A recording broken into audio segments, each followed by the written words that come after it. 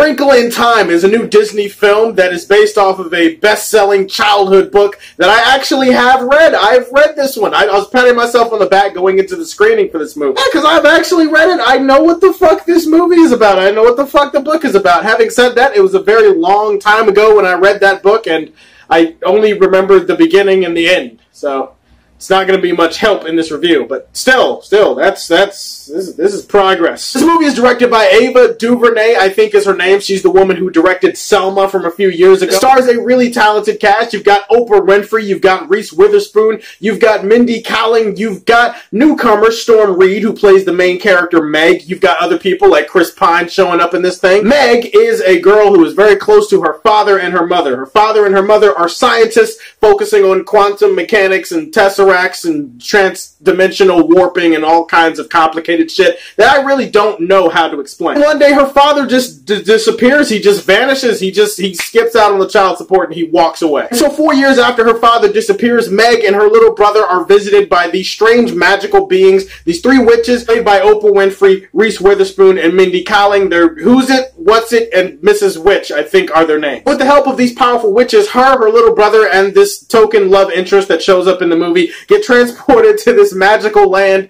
where a whole bunch of crazy unimaginable shit happens and they have to try to combat this weird darkness known as the It. Not Pennywise, not the clown. He doesn't show up in this movie, thank God. That would have scared the hell out of a whole bunch of little kids. Keep in mind for the purposes of this review, whether I'm talking about positives or I'm talking about negatives, I am going to keep my criticisms and my critiques of this movie strictly about how it's portrayed on film. This is one of those rare cases where I do have knowledge from the book to back me up, but I feel like the book should be its own separate thing, and this is all about how well that book is adapted to the big screen. So I'm going to be using film critique instead of book critique for this review. From what I can remember, this movie is pretty faithful to the book. I mean, it, I'm pretty sure it follows most of the plot lines of the book, and it's all about the execution. And here's what I can say about this movie from an execution standpoint. The visuals are sex. Pretty much from a visual and technical standpoint, I have little to no issues with this movie. There is one complaint that I will mention later when I get into my negatives, but for right now, I'll just say that most of the visuals in this movie are eggs on a tit. Eggs on a tit, seriously. I mean, the CGI looks really good in most scenes that it's utilized. The cinematography looks really good. The colors in this movie make everything pop and make everything a little bit more exciting and a little bit more imaginative. There's also great costume design. There's also great makeup. Anything in this movie that looks like it's supposed to appeal to your sense of sight, it, it looks really good. It's really well done. Visually, Ava and her creative visual team should be proud of themselves for the job that they did in this movie. Also single out the main girl, Storm Reid, I believe, who is playing the main character of Meg. You can tell that she's really trying hard. She's given the most to do, and she does the most with what she's given. And keep your eyes on that girl. She's got future star written all over her. Also does have pretty good messages to kids about looking for that little light inside yourself and for being optimistic and never giving up, which is really like a euphemism for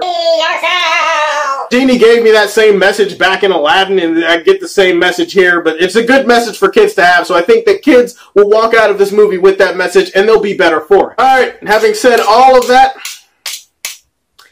carve this turkey up. Best way I can describe this movie and why I'm not really a huge fan of it is that it's all over the place. That's the only way I can describe everything from the tone to even some of the visuals to the narrative to the characters to the dialogue to the acting to everything. It's all over the place. This movie's a mess. Start with the acting. I know the tone that the movie is going for. The movie's going for a balanced tone. It's going for that kid humor, that heart humor that we know and love, but it's also going for more serious things. It's going for some more mature things. And it's supposed to be striking a grounded, somewhat balanced tone. And the acting in the movie does not reflect that tone. The acting in this movie is all over the place in terms of whose performance I can believe in and whose performance I just can't buy. The acting is way over the top, even for a movie like this. I mean, I can understand how contextually speaking the acting would fit in a scene like that. Then you've got other scenes where you've got people that are underacting and you've got people that feel a little bit stiff and a little bit wooden. And some of those performances come off as hey, we know we're acting. Let's just rehearse our lines and get them out so that we can go home and cash this check. You have acting that is that inconsistent in this movie when it's all over the place in terms of too over the top or too under the ground. It takes me out of the movie as a viewer and it makes it hard for me to connect to the actors and what they're trying to pull off on screen. And that inconsistent quality also carries over to the dialogue. There's some shitty, iffy dialogue that's delivered in this movie as well. Saddest thing about this movie is that it was really hard to get into the characters. It's hard for me to latch onto them. I would say that the way this film juggles its characters, or the way it fails to effectively juggle its characters, is also a problem that translates to the rest of its story and the way that it tries to tell that shit. There are parts of this storytelling that feel very rushed, that feel very crammed, and that feel very ham-fisted. We're introduced to characters and plots before we even have a chance to really get attached to anything, and then boom, we're off to another brightly colored set piece. The movie just feels way too rushed. It feels like it jumps all over the place, and it doesn't have a consistent flowing narrative, and as a result, it's hard for me to really care about too much that happens in this movie. Visually, there is one thing that did irritate the shit out of me, and that is the fact that this movie utilized a lot, and I do mean a lot, of obnoxious close-ups. This movie went a lot from obnoxious, like absurdly big close-ups, like where I can see Oprah's boogers. I never thought that I would want to see Oprah's boogers. I'm just don't watch this movie in 3D, please. Seriously, close-ups like I see Oprah's boogers, and then we transition to a wide shot where you have pretty-looking CGI. A little thing visually, it doesn't really take too much away from the movie, but it did irritate the shit out of me watching it. It's not a bad movie. It's not shit. Like I can't say that it's awful or anything, but it is a big disappointment. Visually, this movie looks good, but that's about it. I'm gonna give A Wrinkle in Time my guilty pleasure rating of Smallville. That's alright, guys. I wish I had better news for you, but the fact is, A Wrinkle in Time was.